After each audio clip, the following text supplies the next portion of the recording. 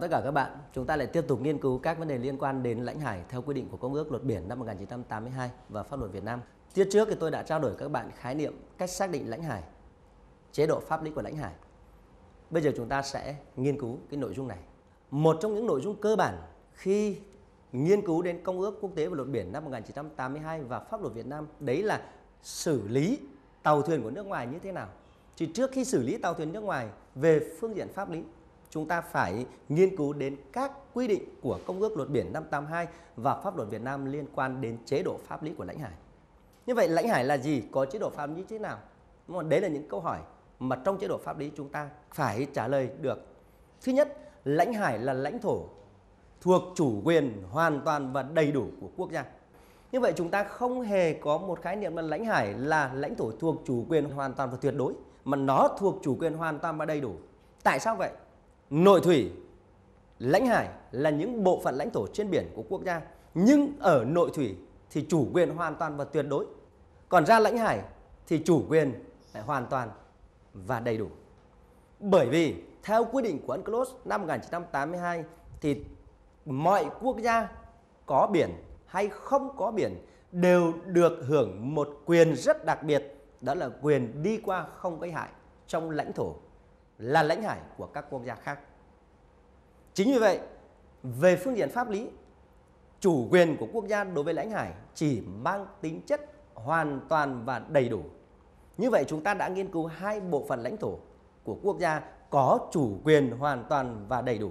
Đó là vùng nước, biên giới và bây giờ chúng ta lại nghiên cứu lãnh hải nó cũng có chủ quyền hoàn toàn và đầy đủ. Tuy nhiên, ở đây tôi muốn lưu ý các bạn đối với vùng nước biên giới là vùng nước nằm trong khu vực biên giới tiếp giáp với các quốc gia. Nó có chủ quyền hoàn toàn và đầy đủ, nhưng chủ quyền này là sự chia sẻ toàn bộ quyền chiếm hữu, quyền sử dụng, quyền khai thác và quyền định đoạt các vấn đề pháp lý liên quan đến vùng nước biên giới và đặc biệt là việc quản lý và sử dụng nguồn nước biên giới. Ở lãnh hải chúng ta cũng nói rằng nó thuộc chủ quyền hoàn toàn và đầy đủ. Nhưng lưu ý ở đây nói đến lãnh hải là nói đến ba bộ phận cấu thành lãnh hải. Đó là vùng trời trên lãnh hải, cột nước biển từ bề mặt biển cho đến đáy biển, gọi là lớp nước biển, và đáy biển lồng đất dưới đáy biển dưới lãnh hải. Thì chủ quyền hoàn toàn và đầy đủ này của quốc gia chỉ bị giới hạn đối với bề mặt nước biển, hay còn gọi là bề mặt biển. Bởi vì ở đó, quốc gia ven biển chỉ nhường và trao một cái quyền đi qua không gây hại cho tàu thuyền nước ngoài. Như vậy, vấn đề đặt ra ở đây là phương tiện bay có quyền đi qua không gây hại trên lãnh hải của quốc gia ven biển hay không? Câu trả lời là không. Mà tàu thuyền chỉ được quyền đi qua không gây hại ở trên bề mặt nước biển thôi. Như vậy, đây là một quyền có tính chất biển và đặc trưng của biển và nó không dành cho phương tiện bay nước ngoài. Và cái điều này nó được quy định rất rõ ràng ở tại các điều khoản 17, 18 và 19 của Công ước Luật Biển năm 1982. Và như tôi đã nói là quốc gia ven biển phải giành quyền đi qua không gây hại cho tàu thuyền nước ngoài. Chính như vậy, các vấn đề pháp lý liên quan đến hoạt động đi qua không gây hại của tàu thuyền nước ngoài là một trong những nội dung cơ bản của của công ước liên quan đến chế độ pháp lý của lãnh hải. Thì ta tìm hiểu đi qua con cái hại có nghĩa là gì? Đi qua con cái hại theo tinh thần của các điều 17, 18 và 19 của Công ước Luật Biển năm 1982 đó là hoạt động đi lại một cách bình thường, nhanh chóng và liên tục của tàu thuyền nước ngoài. Ý thứ hai, trong hoạt động đi qua không gây hại có nghĩa là không được làm phương hại đến hòa bình, đến trật tự hay an ninh của nước ven biển. Như vậy ở đây có hai vấn đề cần phải hiểu cái quyền đi qua không gây hại. Đấy là cái hoạt động di chuyển một cách bình thường, nhanh chóng và liên tục của tàu thuyền nước ngoài. Và đi qua không gây hại có nghĩa là không làm phương hại đến hòa bình, đến an ninh, đến trật tự của quốc gia ven biển trong khu vực lãnh hải của họ. Bây giờ câu hỏi đặt ra là gì? Khi đi qua không gây hại thì tàu thuyền có thể được dừng lại và thả neo hay không? Ban đầu chúng ta đặt vấn đề là tàu đi qua không gây hại phải là chuyển động một cách bình thường, nhanh chóng và liên tục. Thế bây giờ câu hỏi đặt ra là đang đi qua không gây hại à, nhưng tàu đó dừng lại thả neo được không? Câu trả lời là có thể có và có thể không. Có với điều kiện là cái hoạt động dừng lại thả neo đó là vì mục đích bất khả kháng. bất khả kháng.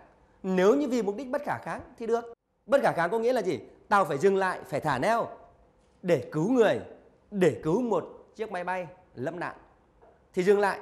Hoặc là dừng lại để mà khắc phục các sự cố về mặt kỹ thuật trong quá trình đi qua ở khu vực lãnh hải của quốc gia. Nhưng chẳng may không may, tàu thuyền bị trục trặc kỹ thuật, hư hỏng máy móc, trang thiết bị trên tàu, hoa tiêu, dẫn đường không thể thực hiện được. Cho nên ở cái tàu đó phải dừng lại ở trong khu vực lãnh hải của quốc gia ven biển. Thì đó người ta gọi là các trường hợp bất khả kháng. Ngoài ra còn có các sự biến, ví dụ động đất, sóng thần, thiên tai, thì tàu thuyền đang hành trình trong khu vực lãnh hải của các quốc gia khác cũng có quyền dừng lại thả neo để trốn, để tránh, để trú nhằm mục đích bảo đảm cho tính mạng của thủy thủ đoàn và con tàu. Đấy là cái câu hỏi mà tôi đặt ra tôi trả lời. Có nghĩa là có thể dừng lại thả neo trong những trường hợp bất khả kháng. Như vậy tôi lại khẳng định là không thể dừng lại thả neo vì các lý do không liên quan đến bất khả kháng. Có nghĩa là dừng lại thả neo để quay phim chụp ảnh được không? Dừng lại thả neo để thăm dò đo đạc được không? Dừng lại thả neo để ngắm cảnh được không? Dừng lại thả neo để tắm biển được không? Hoàn toàn không bởi vì nó không liên quan đến cái gọi là bất khả kháng và không liên quan gì đến hoạt động di chuyển bình thường nhanh chóng và liên tục của tàu thuyền khi hoạt động trên lãnh hải của các quốc gia ven biển. Và theo tinh thần của Công ước quốc tế về luật biển năm 1982, ở đây tôi lưu với các bạn là tàu ngầm và các phương tiện đi ngầm khác thì đi qua không gây hại, bắt buộc phải đi ở trong tư thế và trạng thái là nổi lên mặt nước. Đó là cái mà mà các bạn lưu ý. Và dĩ nhiên khi đi qua lãnh hải của quốc gia ven biển thì để thể hiện cái sự tôn trọng độc lập chủ quyền của quốc gia ven biển thì tàu biển nước ngoài phải treo quốc kỳ của quốc gia ven biển.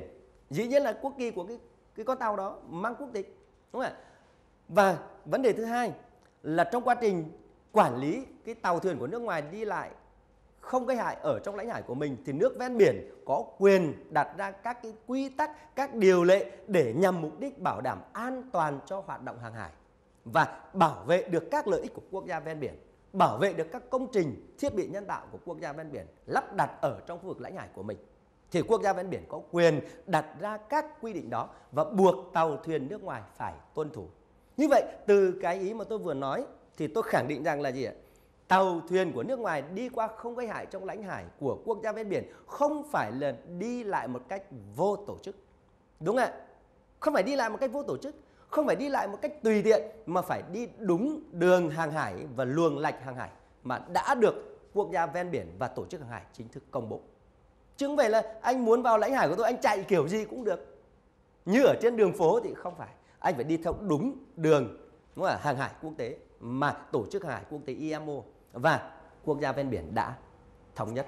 Coi đó là một đường hải quốc tế, anh phải đi theo đúng tuyến đường hải quốc tế. Để thứ nhất là bảo đảm được cái chủ quyền của quốc gia ven biển được tôn trọng, bảo đảm được lợi ích của các quốc gia ven biển được tôn trọng. Và đồng thời việc đi đúng đường, đúng hướng, đúng luồng lạch biển, nó cũng bảo vệ cho chính thủy thủ đoàn và con tàu của nước ngoài.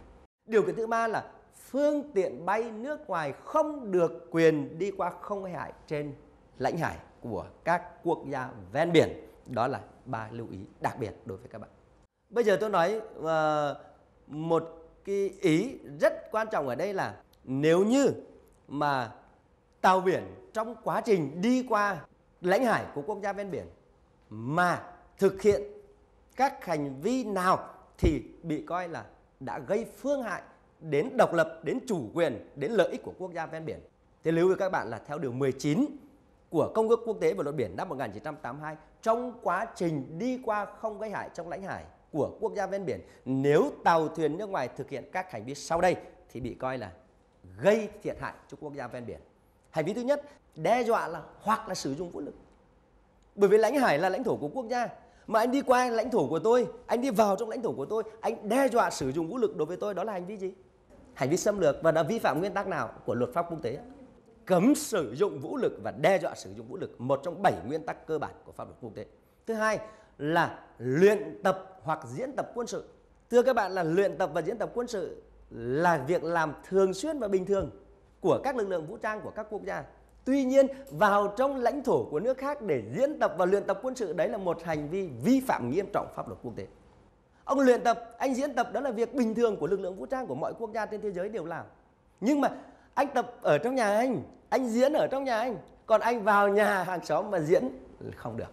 Ông tập ở đó không được. Tất nhiên mức độ của luyện tập là hoạt động bình thường. Còn diễn tập là ở mức độ phối hợp, tác chiến, có thể là diễn tập mang tính chất gọi là đơn phương của một quốc gia tổ chức. Chỉ có một lực lượng thôi, ví dụ Hải quân Việt Nam diễn tập. Nhưng mà có thể Hải quân Việt Nam có thể phối hợp với gì ạ? Không quân, lục quân để diễn tập đó là diễn tập đa binh chủng, đa lực lượng. Nhưng mà cũng có thể là Việt Nam phối hợp với Philippines tập trận được không? Luật pháp quốc tế không cấm. Các bạn thấy này, Philippines, Mỹ, Nhật Bản, Australia họ phối hợp với nhau, hợp tác với nhau để thực hiện các cái hoạt động diễn tập quân sự trên biển Đông trong thời gian vừa rồi hoàn toàn là hòa bình và luật pháp quốc tế không cấm. Nhưng mà phải luyện tập và diễn tập trên vùng biển quốc tế hoặc là trong vùng biển thuộc quyền chủ quyền hoặc là lãnh thổ của quốc gia. Đó là nội thủy, lãnh hải, tiếp giáp, đặc quyền kinh tế của anh. Chứ anh không được đến lãnh hải của các quốc gia khác để mà thực hiện hoạt động luyện tập và diễn tập quân sự. Thứ ba là hành vi thu thập thông tin tình báo mà gây thiệt hại cho quốc phòng và an ninh của quốc gia ven biển. Đó là lý do mà tôi muốn nhắc lại một việc không vui. Một sự kiện pháp lý không vui đấy là ngày 8 tháng 3 năm 2014 một chiếc máy bay mang ký hiệu MH370 mang quốc tịch của Malaysia nghi là rơi trên vùng đặc quyền kinh tế Việt Nam ở phía Tây Nam, thì Việt Nam chúng ta đã nỗ lực và bằng mọi phương tiện có thể để chúng ta tham gia vào cái lực lượng cứu hộ cứu nạn. Và cái lực lượng cứu hộ cứu nạn đó, cái hoạt động đó, nó nhằm vào hai mục đích tôi khẳng định. Mục đích thứ nhất là chúng ta thực hiện cái tinh thần nhân đạo theo nguyên tắc là gì ạ? Nhân đạo quốc tế. Khi có nạn, chúng ta phải tích cực tìm kiếm cứu hộ cứu nạn nhưng đồng thời với sự xuất hiện của các tàu các máy bay thủy cơ thủy phi cơ của Việt Nam chúng ta tham gia thì nó cũng ngăn ngừa việc các quốc gia khác lợi dụng hoạt động tìm kiếm cứu hộ cứu nạn chiếc máy bay MH370 để thu thập các thông tin tình báo liên quan và gây thiệt hại cho quốc phòng và an ninh của Việt Nam chúng ta. Đó là cái mà tôi cho là lý do chúng ta phải phối hợp với các nước để tìm kiếm cái chiếc máy bay này. Cái hành vi thứ tư là hành vi phóng đi, tiếp nhận xếp lên tàu các phương tiện bay. Tức là lấy tàu làm căn cứ để phóng tên lửa, ví dụ như thế. Đúng không? Hoặc là chiếc tàu để từ đó máy bay cất cánh, hoặc là xếp lên tàu các phương tiện quân sự. Cái hành vi thứ năm đó là phóng đi tiếp nhận xếp lên tàu các phương tiện. Rồi hành vi thứ sáu là tuyên truyền làm hại đến quốc phòng và an ninh quốc gia ven biển. Tôi lấy ví dụ một chiếc tàu nước ngoài họ đi qua vùng biển Việt Nam là lãnh hải Việt Nam, họ phát loa phóng thanh, họ tuyên truyền, họ nói xấu, họ kích động được không?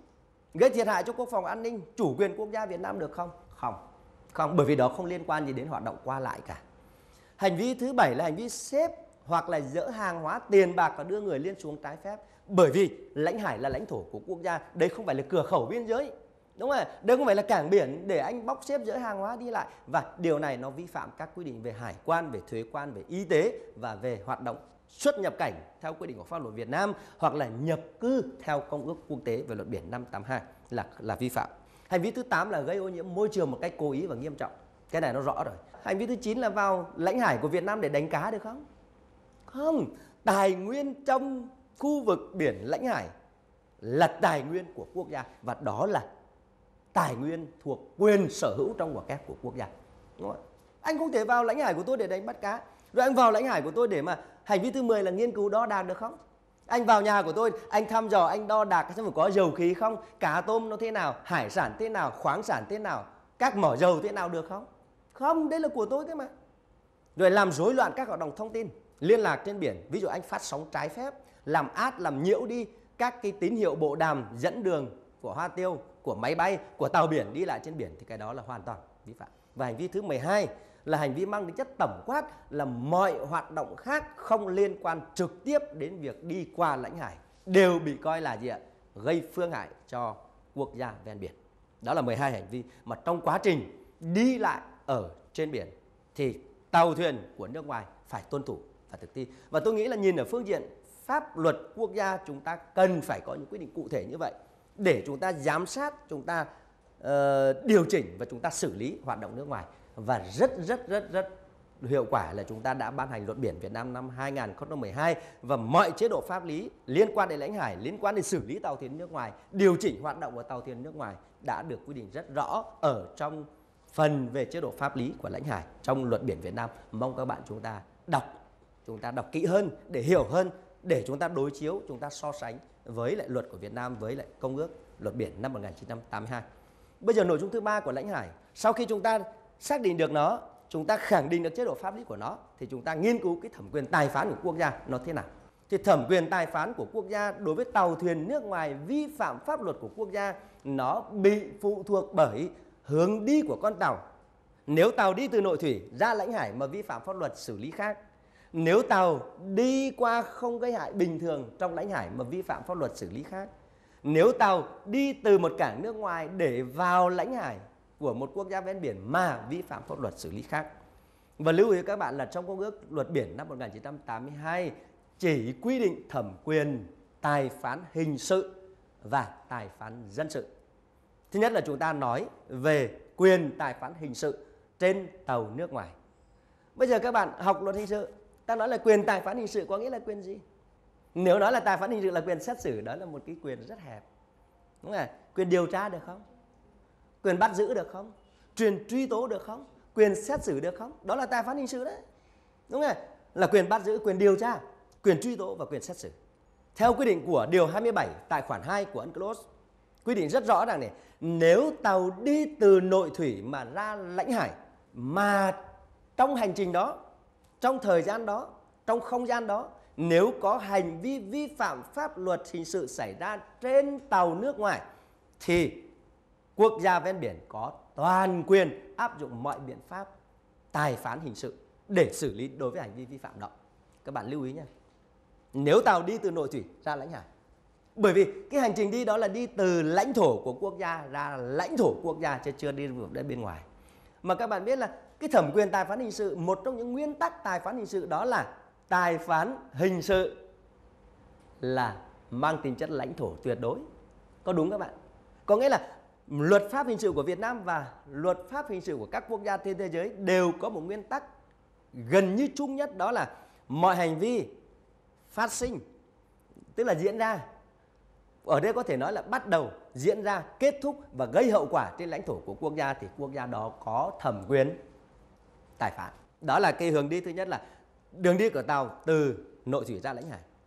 Hướng đi thứ hai là nếu tàu đang đi qua lãnh hải, có nghĩa là nó chỉ thực hiện hoạt động đi qua lãnh hải quốc gia ven biển thôi chứ không phải từ trong nội thủy đi ra mà cũng phải là từ bên ngoài vào, mà nó đang đi qua, đang đi qua lãnh hải thì Công ước Quốc tế về luật biển năm 1982 quy định rằng là nếu mà tàu đang đi qua lãnh hải mà có những hành vi vi phạm hình sự xảy ra trên tàu nước ngoài thì quốc gia ven biển không được thực hiện quyền tài phán hình sự. Đó là về nguyên tắc. Nhưng mà ở đây tôi đã lưu ý ở trên bảng, bằng dòng chữ màu vàng là xảy ra trên tàu nước ngoài. Có nghĩa là ví dụ một chiếc tàu nước ngoài đang đi qua lãnh hải của Việt Nam trên tàu đó có một vụ giết người xảy ra trên tàu. Nó khác với là tàu đang đi qua lãnh hải Việt Nam rồi tông vào một tàu khác làm chìm chiếc tàu khác và làm chết người. Đó là xảy ra trong lãnh hải. Thì bây giờ này, trong công ước này nói là nếu mà tàu đang đi qua lãnh hải thì quốc gia ven biển không có quyền tài phán hình sự đối với một vụ vi phạm xảy ra trên tàu. Điều đó có nghĩa là nếu xảy ra trong khu vực lãnh hải thì quốc gia ven biển có quyền tài phán không? Có nhá. bởi vì sao? Đó là lãnh thổ quốc gia. Còn trên tàu thì lại gì ạ? Nó là thuộc sự điều chỉnh, chịu sự điều chỉnh của pháp luật hình sự của quốc gia mà nó mang quốc tịch. Các bạn lưu ý cho tôi nha. Như vậy, ở đây tôi tôi không phải là vô tình mà tôi tô đậm trên tàu nước ngoài để mong các bạn và để nói các bạn phân biệt với các bạn rằng là trên tàu xử lý khác mà trong lãnh hải xử lý khác. Tuy nhiên, công ước này nói rằng kể cả trong trường hợp tàu chỉ đi qua lãnh hải thì bốn trường hợp sau đây quốc gia ven biển có thể áp dụng quyền tài phán đối với hành vi vi phạm hình sự xảy ra trên tàu. Trường hợp thứ nhất là nếu hậu quả của vụ vi phạm hình sự đó mở rộng đến nước ven biển. Bây giờ ta hiểu thế nào là hậu quả xảy ra mở rộng đến quốc gia ven biển. Tôi lấy ví dụ. Một chiếc tàu mang quốc tịch Thái Lan đang đi qua không gây hải trên lãnh hải Việt Nam nhưng trên đó có một vụ giết người mà người bị giết là công dân Việt Nam. Có mở rộng đến Việt Nam không? Thứ hai, nếu như trên con tàu mang quốc tịch Thái Lan đang đi qua lãnh hải Việt Nam mà có thông tin cho rằng trên đó chở rất nhiều các cái đồ cổ vật đặc biệt của Việt Nam, ví dụ như trống đồng, ngọc lũ Đông Sơn. Đúng không nhỉ? Các bộ bản đồ cổ của Việt Nam. Mà cái loại đó thì cấm đúng không ạ? Mua bán trao đổi. Cái trường hợp ngoại lệ thứ hai đó là nếu vụ vi phạm đó có tính chất phá hoại hòa bình của đất nước hoặc là trật tự trong lãnh hải của quốc gia đó. Tôi lấy ví dụ, tàu đang đi qua lãnh hải Việt Nam nhưng mà lại thử vũ khí được không? Đó là đe dọa hòa bình. Có đúng nhỉ? Tàu đang đi lại trong lãnh hải Việt Nam bỗng nhiên hụ còi, đúng không ạ? Trao lạng lách chèn ép các tàu khác, đâm va các tàu khác, đó là phá hoại hòa bình, an ninh trật tự của đất nước nói chung hoặc là trong khu vực lãnh hải nói riêng. Cái đó là quốc gia ven biển có quyền tài phán. Lưu ý cho tôi cái đó. Trường hợp ngoại lệ thứ ba là nếu thuyền trưởng hoặc là một viên chức ngoại giao, một viên chức lãnh sự của quốc gia mà tàu đó mang quốc tịch yêu cầu. Tôi lấy ví dụ. Khi một chiếc tàu đang đi qua lãnh hải của Việt Nam, giả sử đó là tàu mang quốc tịch Thái Lan, trên đó có một vụ đụng độ không phải giữa các nhóm thủy thủ đoàn trên tàu. Cái này có trên thực tế rồi các bạn. Cách đây mấy năm ở khu vực biển của tỉnh Tiền Giang, huyện Gò Công thì chúng ta nhận được tin báo, cơ quan có thẩm quyền Việt Nam nhận được tin báo. Trên đó một nhóm thủy thủ đoàn nổi loạn và giết chết thuyền trưởng quẳng xuống dưới biển. Cơ quan ngoại giao và lãnh sự của Thái Lan liên lạc với cơ quan có thẩm quyền của Việt Nam, lực lượng cảnh sát biển Việt Nam của chúng ta phải can thiệp cái vụ đó bởi vì họ có yêu cầu. Còn về nguyên tắc họ không yêu cầu thì chúng ta không can thiệp. Đúng không ạ? Đó là cái trường hợp thứ ba. Trường hợp thứ tư là nếu cái hành vi tài phán là cần thiết để trấn áp buôn lậu ma túy và các chất kích thích khác. Và đây là những trường hợp được quy định rất cụ thể tại khoản 1 điều 27 của UNCLOS năm 1982. Như vậy tôi kết luận lại này, nếu tàu đang đi qua lãnh hải thì quốc gia ven biển không áp dụng quyền tài phán hình sự nào xảy ra trên tàu nước ngoài trừ 4 trường hợp ngoại lệ. Đó là vụ việc mở rộng đến quốc gia ven biển. Thứ hai là có tính chất phá hoại hòa bình lãnh thổ hoặc là trật tự an ninh trong lãnh hải. Thứ ba là khi có thuyền trưởng hoặc là viên chức ngoại giao, viên chức lãnh sự yêu cầu. Và thứ tư, nếu việc đó mà quốc gia ven biển thấy cần thiết để trấn áp hành vi buôn lậu ma túy và các chất kích thích khác. Đó là tinh thần của khoản 1 điều 27 của UNCLOS khi xử lý đối với tàu thuyền đi qua lãnh hải. Hướng đi thứ ba đó là tàu đi từ bên ngoài để vào lãnh hải của quốc gia.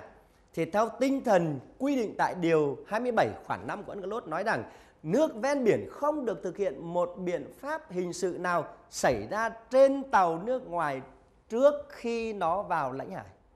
Các bạn hình dung ạ? Tôi lấy ví dụ, một chiếc tàu xuất phát từ cảng biển của Singapore, hành trình đi đến lãnh hải Việt Nam. Thì cái hành trình này nếu một hành vi xảy ra từ cảng Singapore cho đến trước khi nó vào biên giới quốc gia trên biển của Việt Nam, chúng ta gọi đó là trước khi tàu vào lãnh hải. Mà trước khi vào vào lãnh hải thì những hành vi từ cảng Singapore cho đến trước khi nó vào lãnh hải Việt Nam xảy ra, chúng ta không áp dụng quyền tài phán. Như vậy tôi đặt ra một điều kiện thứ hai, là nếu như tàu đi từ cảng Singapore vào đến lãnh hải Việt Nam rồi, thì nó mới xảy ra cái vụ vi phạm đó trong lãnh hải Việt Nam chúng ta xử lý không? Công ước nói là trước khi vào lãnh hải thì không xử lý, có nghĩa là sau khi nó vào lãnh hải rồi mà nó vi phạm thì chúng ta xử lý. Ở đây tôi đặc biệt lưu ý với các bạn là vậy thì những hành vi vi phạm pháp luật của tàu quân sự và tàu nhà nước phi thương mại xử lý thế nào?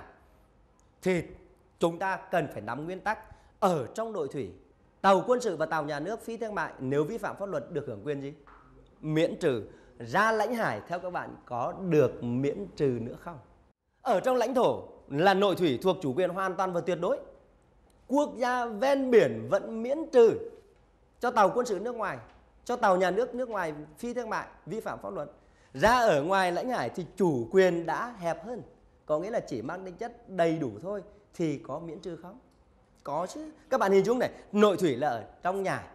Họ vi phạm chúng ta miễn trừ cho họ. Thì lãnh hải ngoài hiên, nếu tàu nước ngoài vi phạm chúng ta lại tiếp tục miễn trừ. Và tất nhiên tôi muốn nhấn mạnh một câu hỏi và tôi muốn nói các bạn là nếu họ, nếu ai đó nhận định rằng là quốc gia ven biển không có quyền tài phán đối với tàu quân sự và tàu nhà nước phi thương mại của nước ngoài vi phạm pháp luật trong nội thủy quốc gia ven biển đúng hay sai, thì câu trả lời rằng là gì ạ? Sai. tàu thuyền quân sự và tàu nhà nước phi thương mại được hưởng quyền miễn trừ điều đó không có nghĩa là quốc gia ven biển không có quyền tài phán và ta phải khẳng định là quốc gia ven biển có quyền tài phán, nhưng trong thực tiễn, trong xử lý, trong tập quán quốc tế, các quốc gia thỏa thuận với nhau là tàu quân sự và tàu thương mại, phi thương mại của nhà nước sẽ được hưởng quyền miễn trừ. Cái nội dung tiếp theo tôi muốn trao đổi với các bạn, đấy là cái thẩm quyền tài phán dân sự đối với tàu thuyền nước ngoài. Nếu nó vi phạm pháp luật, các quy định liên quan đến dân sự thì cũng nói về hướng đi của tàu. Ở đây có hai trường hợp. Nếu tàu đang đậu trong lãnh hải hoặc là đang đi qua lãnh hải sau khi rời khỏi nội thủy thì nước ven biển có quyền áp dụng mọi biện pháp tài phán về dân sự theo quy định của pháp luật trong nước. Có nghĩa là nếu tàu đó đang đậu trong lãnh hải, đang đi qua lãnh hải sau khi nó ở trong nội thủy mà đi ra mà vi phạm các nghĩa vụ dân sự, chưa thanh toán thuế đúng không ạ? Các tiền bạc dịch vụ liên quan đến ờ, gọi là uh, neo đậu tàu liên quan đến hoa tiêu liên quan đến lai dắt vân vân thì quốc gia ven biển có quyền áp dụng các biện pháp cần thiết để buộc cái tàu đó phải thanh toán cái khoản nợ đó, cái nghĩa vụ dân sự đó. Cái này được quy định rất rõ tại điều 28 khoản 3 của UNCLOS. Cái trường hợp thứ hai là nếu tàu đang đi qua lãnh hải hoặc để được đi qua lãnh hải của nước ven biển thì về nguyên tắc theo điều 28 khoản 1 quốc gia ven biển không được áp dụng các biện pháp tài phán đối với một thủy thủ đoàn hoặc một số thủy thủ đoàn trên tàu. Nhưng mà chỉ vì áp dụng đối với một thủy thủ đoàn trên tàu mà bắt tàu dừng lại để thay đổi hành trình, điều đó không cho phép. Hay nói cách khác là nếu như tàu đang đi qua lãnh hải hoặc là để được đi qua vùng biển của nước ven biển mà con tàu đó không thực hiện một nghĩa vụ chung, ví dụ nghĩa vụ về trả tiền hoa tiêu, trả các dịch vụ mà tàu đó sử dụng trong quá trình đi lại, thì quốc gia ven biển có quyền bắt tàu đó dừng lại hoặc buộc thay đổi hành trình để buộc con tàu đó phải thực hiện nghĩa vụ dân sự. Nhưng mà nếu như trên tàu của nước ngoài chỉ có một vài thủy thủ đoàn không thực hiện các nghĩa vụ đối với quốc gia ven biển, rồi chúng ta ra chặn con tàu lại đó để xử lý đối với một vài thủy thủ đoàn trên tàu về lĩnh vực dân sự, thì không được phép. Cụ thể, ở đây nói rất rõ là nước ven biển không được bắt tàu nước ngoài phải dừng lại hoặc thay đổi hành trình để thực hiện quyền tài phán dân sự đối với một người ở trên tàu.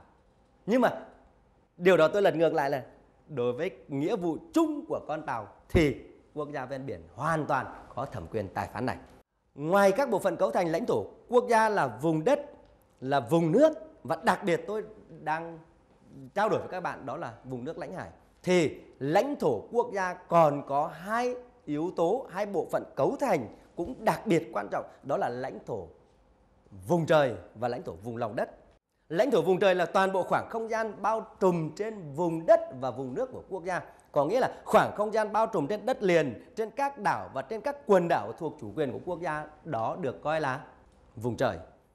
Không gian bao trùm trên nội thủy, trên lãnh hải là vùng trời của quốc gia. Ngược lại, lồng đất là phần đất nằm dưới vùng đất và vùng nước. Có nghĩa là dưới đất liền, dưới các đảo và các quần đảo, dưới nội thủy, dưới lãnh hải. Đó là lồng đất quốc gia. Và trong thực tiễn, quan hệ quốc tế và pháp luật quốc tế, lãnh thổ vùng trời và lãnh thổ vùng lồng đất được mặc nhiên thừa nhận trong thực tiễn pháp lý quốc tế. Em có câu hỏi gì về phần này không ạ? Là xin mời em. Dạ, thưa thầy cho em hỏi là, là trên thực tế thì các quốc gia có ký với nhau hiệp ước về phân định uh, vùng trời và vùng lòng đất không ạ? Cảm ơn em. Đây là một câu hỏi tôi cho rằng rất là thú vị và nó cũng phản ánh được cái thực tiễn phân định lãnh thổ và biên giới của các quốc gia. Về câu hỏi của em tôi trả lời thế này. Trên thực tế, các quốc gia chỉ tiến hành ký kết các điều ước quốc tế để phân định lãnh thổ vùng đất và vùng nước hay còn gọi là lãnh thổ trên biển.